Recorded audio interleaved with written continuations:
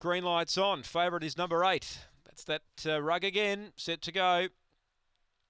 Ready. Racing, Rev Fred Sloy away fair. Good speed, ask me now. Rev Fred Sloy crushing down. In between runners, Fabs you go. A line of three here.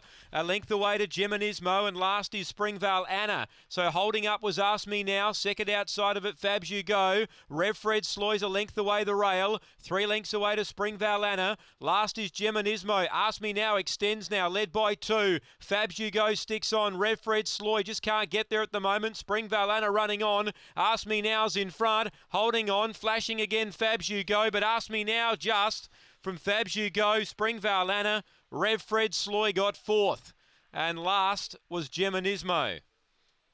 Time here is around 35 and 14. Ask Me Now, Damien Bates brings up a double, leads all the way, had some good form to recommend him.